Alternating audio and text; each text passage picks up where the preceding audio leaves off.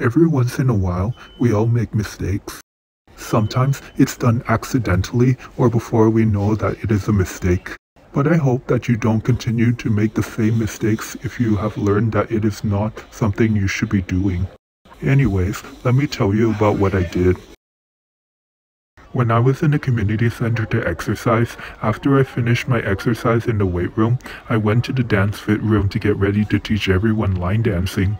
Because everyone in the room agreed to let me teach everyone that the week after we did our normal dance fit. But when I told one of the instructors, there are two dance fit instructors by the way, that I am ready to teach everyone line dancing in a modified way so that it's easier for everyone, she said no.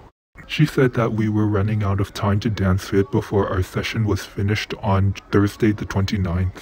So do you want to know what I did next? I talked to the second instructor about what I said to the first instructor. Guess what?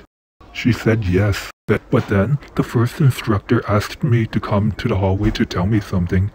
She told me that I did what she called a loophole, or in another word I later found out, an exploit, where after she told me that I won't be teaching everyone line dancing today, I went to the second instructor for the same thing where she then said yes. This gave me an advantage to teach everyone line dancing even though our session would be finished soon.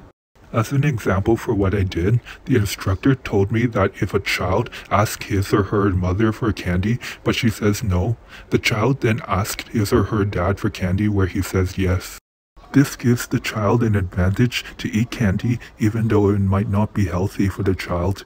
After I learned about what I did was not good, I apologized to the dance fit instructor for the loophole I did. So, the lesson that you should know is that you should accept anyone's refusal when you ask anyone for something and they say no. Thank you for watching this video. Please like this video, subscribe to my channel while clicking on the bell.